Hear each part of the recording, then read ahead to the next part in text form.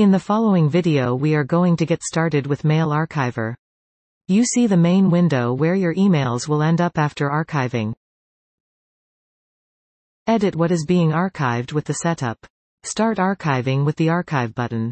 Select Mbox files for archiving with the Archive Mbox button.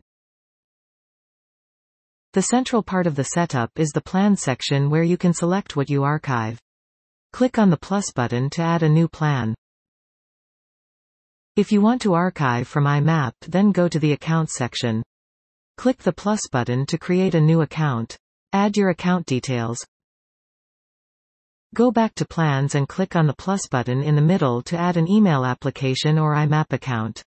You can then select the mailboxes for archiving. You can restrict the archival by a date or day range. You can exclude internal emails and you can archive emails with flag or exclude them from archiving. Emails can be moved to the trash after archiving. For IMAP accounts emails are deleted. Select a date or day range similarly to the range for archiving. Select the format that you want your emails to have. You can archive to internal database, FileMaker and PDF. Set the scheduler to archive automatically every day, week, month or quarter. The email viewer has the typical three-pane interface of an email client. There is a list of mailboxes, a list of emails and the details of an email.